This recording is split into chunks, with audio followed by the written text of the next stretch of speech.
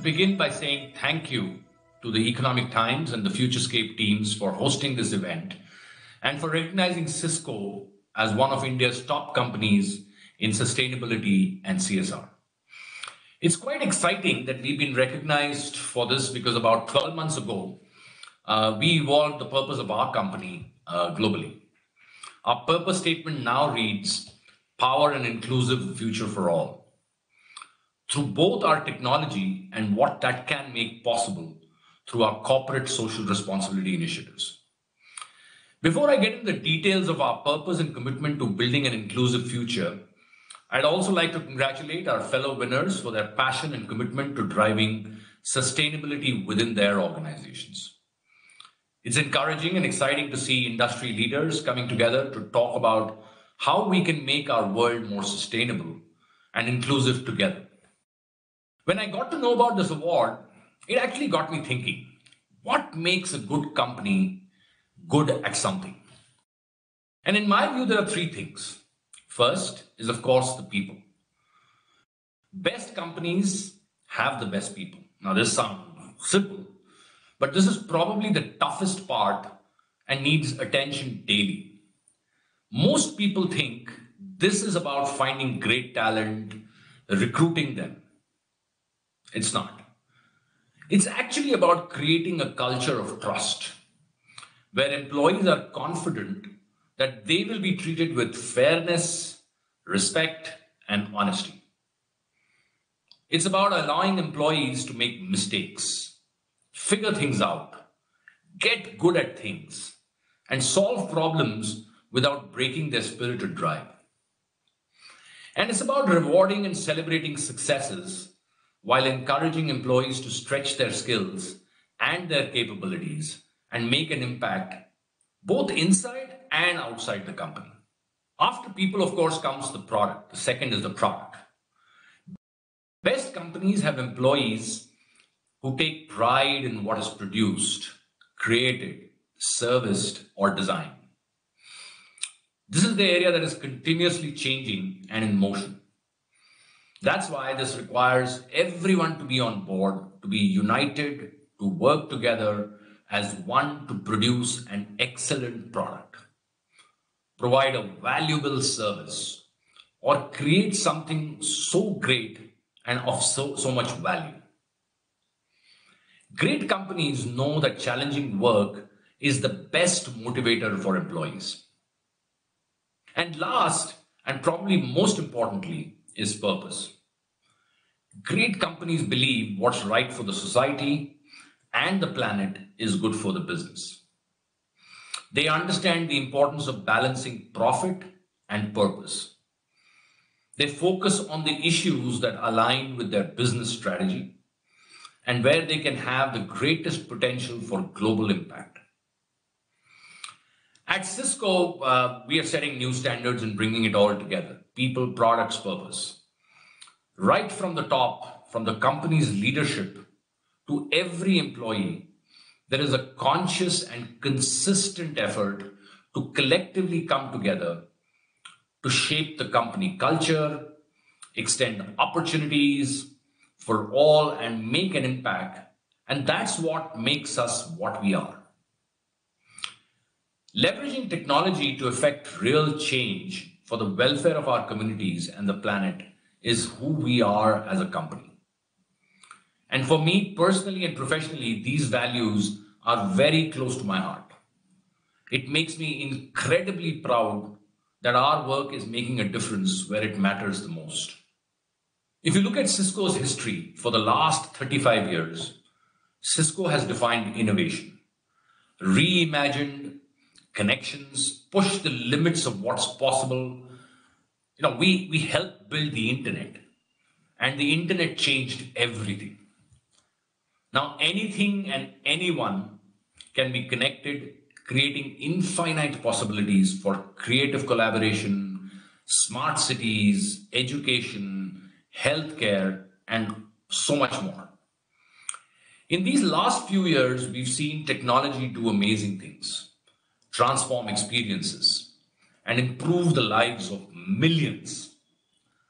But even with this progress and prosperity, we still have many, many pressing challenges. Challenges around the environment, economic inequality, health, education, and so on. At Cisco, we believe that these challenges can be solved or at least managed effectively. We see opportunities for our innovation, expertise, and culture to play a role in finding solutions to some of society's biggest challenges.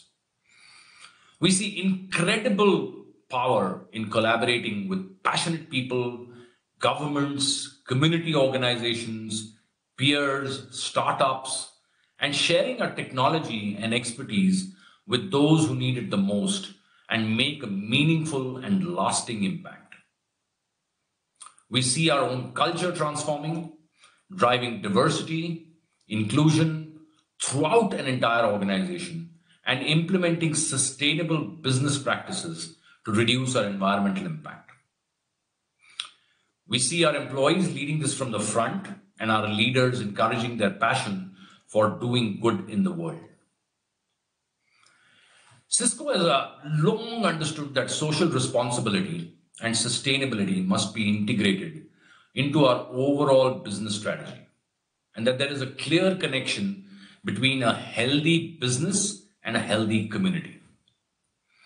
For the last 25 years that Cisco has been in India, sustainability and inclusion have been at the heart of everything we do and not as an afterthought.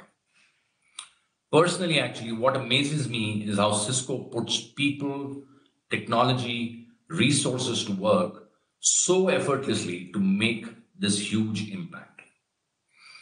And, and, and, speaking of impact, we had set a target in 2019 to positively impact the lives of 50 million, 5 crore Indians by 2025. And as of April 2020, 21 million lives have already been positively impacted across various spheres like education, jobs, sustainability, digitization, etc. So I think we can up this target going forward.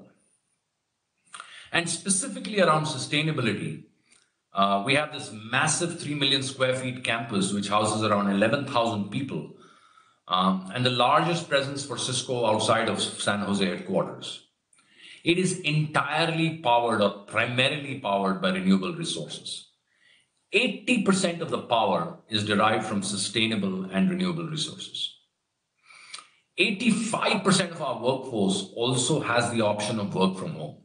And this is even before COVID which actually allowed us to consolidate real estate and reduce our carbon footprint significantly.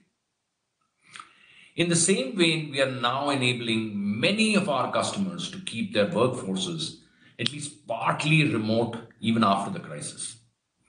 We've shared our processes, our learnings with several customers, several partners, many of whom are moving to remote working. And you know what? When this happens at large scale, this distributed workforce and workplace, mm-hmm. this will eventually lead to balanced economic growth across the nation and cut down the burden on our cities, making them a lot more livable and sustainable. Additionally, uh, within Cisco, we've set several targets for ourselves to reduce our impact on the environment. So 80% of Cisco component manufacturing and logistics suppliers by spend will have a public absolute GHG emissions target by FY25. And 70% will achieve a zero waste diversion rate at one or more sites by then.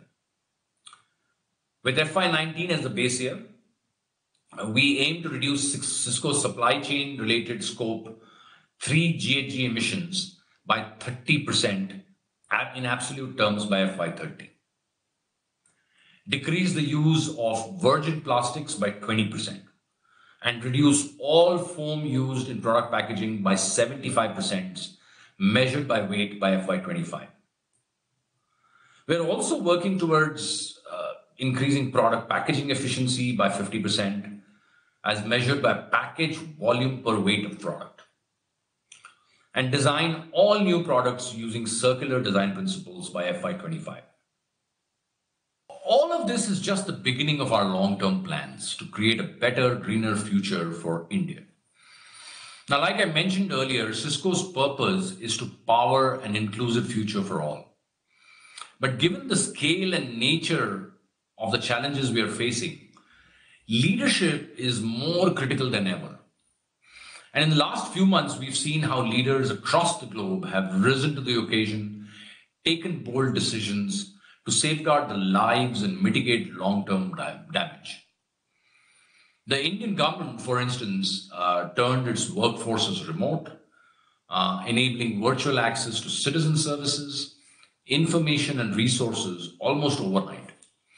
By no means an easy task uh, for a country of 1.3 billion people. So it's all about responsible leadership. And as of as all of you here today are displaying, this is essential for change.